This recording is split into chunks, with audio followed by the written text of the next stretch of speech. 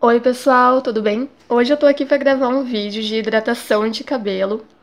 O meu cabelo, como vocês sabem, eu pintei de preto novamente.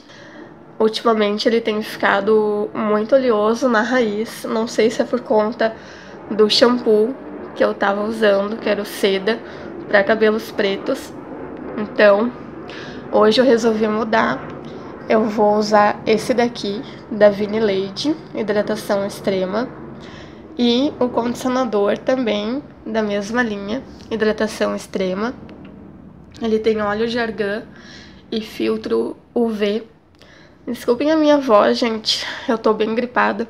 Então, para hidratação, eu vou usar esse creme aqui da Forever Liss Profissional Desmaia Cabelo.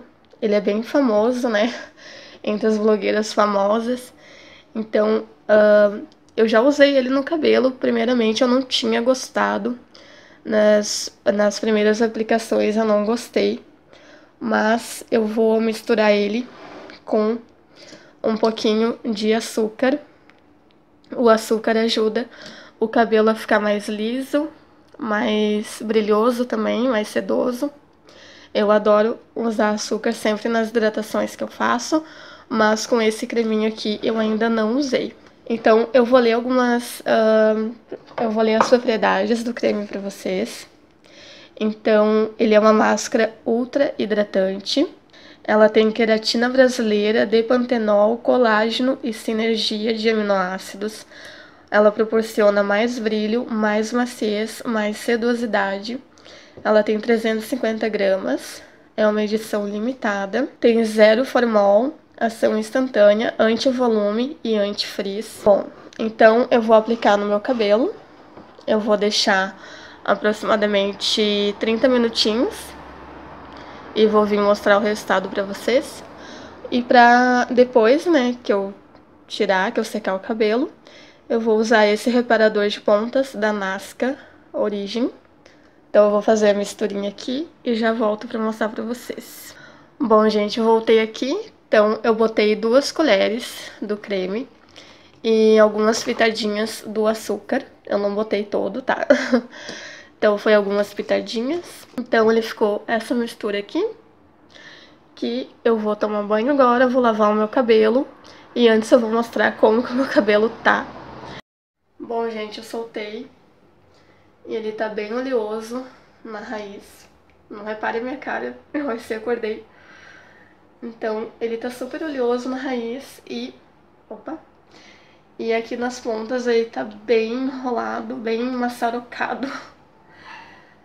Tá? Ó, e ainda tá caindo bastante cabelo. É porque eu acho que eu prendo muito ele, não pode tá prendendo muito. Então, ó, ele tá bem embaraçado, tá sem brilho nenhum. Só brilha por causa do só tá brilhando por causa do, da raiz oleosa, né? Que meu cabelo é muito oleoso. Então, como vocês estão vendo aqui, ele tá bem sem vida, bem opaco. Então eu já volto e venho com o resultado pra vocês mais tarde um pouco. Eu vou deixar ele secar naturalmente.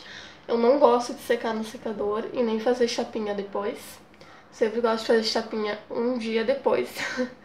E não logo que eu, que eu lavo e seco o cabelo. Então eu já volto.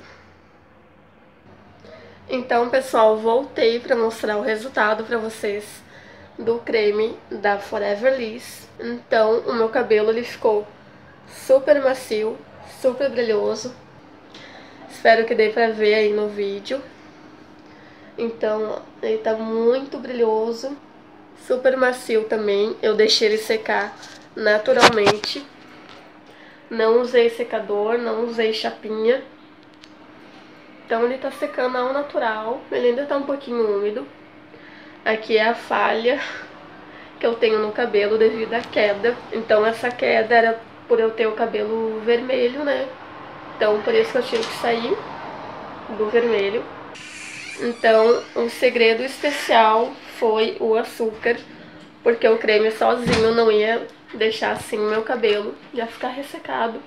Porque como eu falei pra vocês no outro vídeo de produtos para cabelo, eu não tinha gostado muito desse creme da Forever Liss.